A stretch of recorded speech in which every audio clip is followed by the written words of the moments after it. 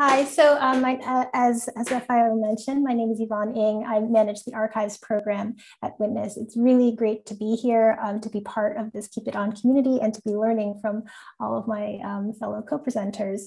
Um, so today I'm here to um, share some tips um, from a series that we published last year on our blog called Documenting During Internet Shutdowns. and just so to provide some context, um, so my organization, um, Witness, is focused on supporting activists who are using video to document um, human rights abuses for advocacy and evidentiary purposes. Um, we partner with grassroots organizations to support their video advocacy campaigns. We provide training, um, we develop training materials, um, on how to use video for human rights documentation.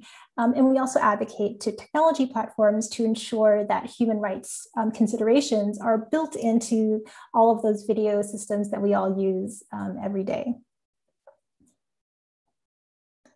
So obviously, um, internet shutdowns, you know, introduce all kinds of logistical challenges for doing documentation and video documentation, since it becomes a lot harder to manage and share content, um, as well as the, you know, it, the increased security risks that come um, with shutdowns.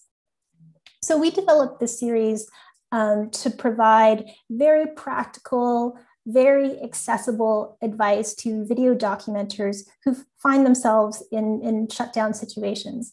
Um, and it's and, and, this guidance is based on the needs and the really creative strategies that we were hearing um, from our partners and our allies. Um, so the topics that we cover in the series, and which I'll be sort of running through some of the tips from today, um, include advice on setting up a phone for offline documentation, um, deciding how to choose um, what documentation apps um, are, are, right for you, um, maintaining verifiable media even during an internet shutdown, backing up your phone media if you don't have internet or even a computer, and then file sharing and communication during a shutdown. So this guidance is currently available in multiple languages, uh, thanks in large part to some of our allies in the Keep It On um, coalition. And we're really glad to see that the materials have resonated with a lot of people and, and very grateful um, in particular to SafeNet um, for the Bahasa Indonesia uh, version and uh, Net Freedom Partners and Small Media for the Farsi version. Um, besides those languages and the English, we also have Burmese, um, Arabic, and Spanish versions. And I'm very glad uh, to say coming soon, an Urdu uh, version as well. So we can go on to the tips. Um, so prepare your phone for offline documentation. Um, you know, some things that can be done to prepare if you anticipate a uh, shutdown happening. Um, first of all, we, for security purposes, we advise people to use a separate phone from your own kind of everyday personal phone if you're doing documentation. Um, you know, obviously, if you're if that phone, if your personal phone is confiscated and you're using it for documentation, you know, you can compromise a lot of your personal and sensitive information. And so use a, a separate phone as possible. You can use an old phone. Um, you can, to wipe it, you can encrypt and then factory reset um, to wipe all of your old data off of your off of that old phone. You know, always practice basic phone security.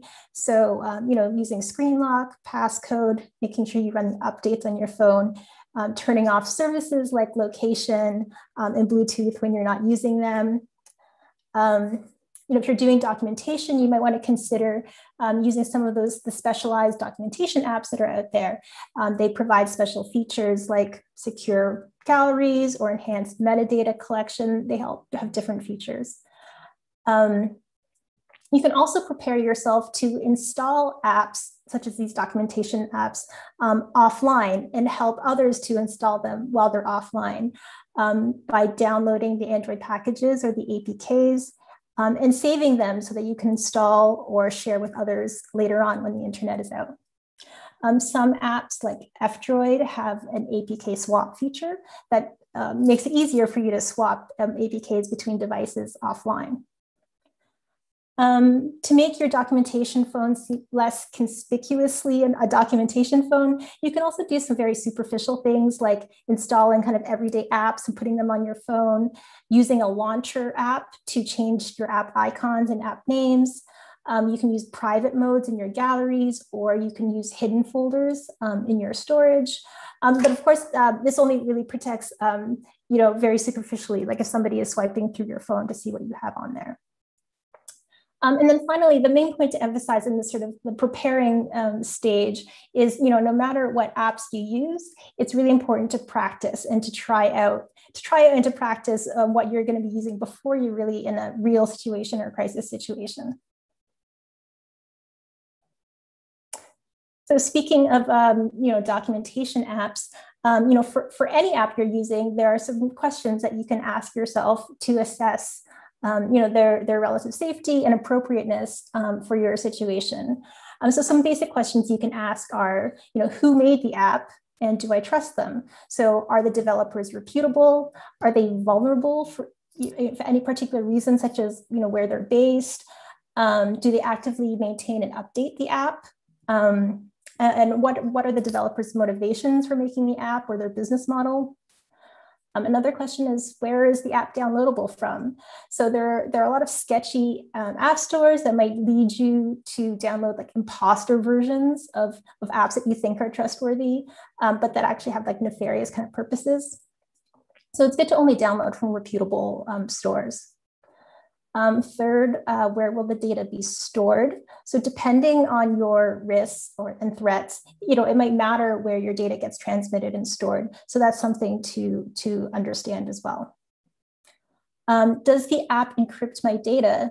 Um, so some apps um, provide separate encrypted storage on your phone, which can provide a, a, a, level of extra protection, you know, even when your phone is unlocked. Um, however, you should also be aware of the laws around encryption wherever um, you are. Um, does the app capture metadata? even without internet. So something to be aware of is that you know some apps rely on internet access um, to capture accurate um, metadata, such as say location data. Um, so you want to check your app's documentation to understand what your what your metadata um, is, is, telling you and what you can what you can interpret from that metadata.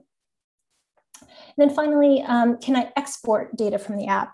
So depending on um, your needs and intentions for the documentation, it might be important uh, to you to be able to easily export your media and metadata out of the app, you know, either like individual videos or, or, or in bulk.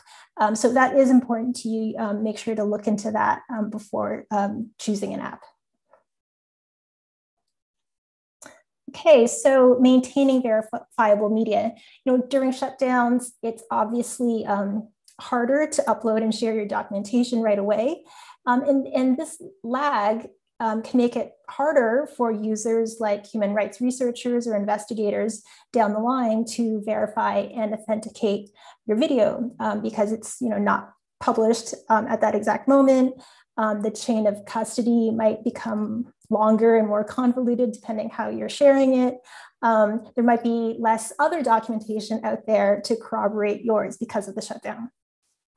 So a few simple things um, that we advise that people can do to make the verification process easier for others later on um, are to um, you know, film or narrate uh, actual details in your in the video itself. So um, it, details that show the time, the date, and the location, you know, such as a phone face, a newspaper, unique landmarks, geographical features, uh, that kind of thing. Um, you can also um, collect descriptive information or metadata, you know, apart from narrating it or filming it in the video itself, such as by using like a specialized documentation app, like I mentioned, or you can also just do it through um, taking notes on your phone, you know, saving other documentation on your phone along with your videos. And then finally, uh, and we'll go into this in the next slide a bit more, backing up your media is um, really important in case anything happens to your phone. You want to be still able to access and provide a copy of that original video that you shot let's say to a journalist or to an investigator um, later on. So backing up um, without an internet or a computer, you know, backing up is always um, really important. Um, but it's extra important to be conscious of this during an internet shutdown because, well, first of all, your automatic cloud um, backups might not be working. Um, and then there also might be extra risks um, to, to, your, to you or to your media during these times. If you have a computer um, backup, it's a lot easier to back up. Um, but even if you don't, there are uh, many options. So a, an OTG or on the go drive can plug directly um, into your phone. Um, you can also use a wireless drive. And what's great about wireless drives is that they can be used by multiple devices at once. Um, if you don't have these drives or can't access them, you can also back up to another phone. Um, so trans transferring files by pairing the phones um, using um, Bluetooth or Wi-Fi Direct or apps that use Bluetooth like Google Files. But whatever you know method that your device that you use, um, it's important to at minimum password protect your storage device. you might additionally consider encrypting the files, you know, using something like 7-zip. although you know, keep in mind, you know, the risks of, of, of that encryption, like you need to be able to decrypt them later on. Um, having one backup is really essential and important. Uh, the ideal is having two backups. So the, the, the three, two, one mnemonic that's used in like the IT world, you know, refers to having uh, three copies total. So your, your original and then two backups on at least two uh, storage media and with at least one in a separate physical location than the other copies. And so finally, and I'm going to spend less time talking about this because I think Gustav is going to talk about circumvention uh, methods, so I won't address those at all. Um, but in terms of file sharing and communication, um, there are ways that you can share files um, without internet as well. Um, so you can use uh, the peer-to-peer -peer tools like Bluetooth and Wi-Fi Direct, which I mentioned earlier, and apps that incorporate um, those technologies like Google Files. Um, just you know, make sure to turn uh, use them safely and then turn them off when you're when you're done. Um, as I mentioned, you can, you know, you can use OTG drives and, you know, physically exchange drives or share wireless drives.